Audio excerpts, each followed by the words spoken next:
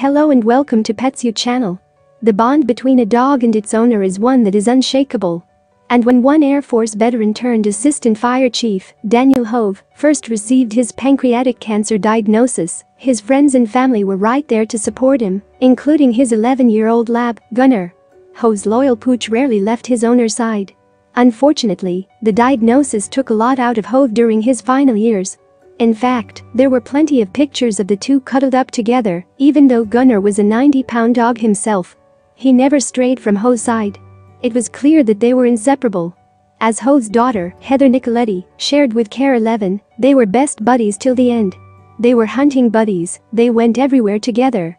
They were always doing everything with one another, therefore it was no surprise that eventually Gunner fell ill when Hove was in his final days. Nicoletti recalled her father and Gunner being very in sync, with both of them getting sick together. She said, My dad was unresponsive, the dog was unresponsive, so once we saw how the dog was doing he wasn't moving much anymore, not doing well we knew, it was coming. Then the day that everyone was dreading came. The family knew that it was only a matter of time before they had to let Gunner go be at peace. I called the vet clinic I used to work at she said, they got me in right away, and I rushed him up there, put him to sleep. And about an hour and a half later, my dad was gone too.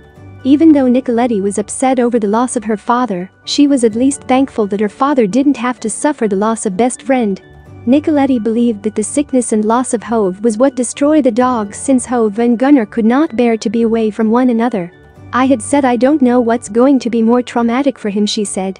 To try to take him away to end to put him to sleep to end his suffering, or if you let him live through dad dying. I think either way it's going to kill him.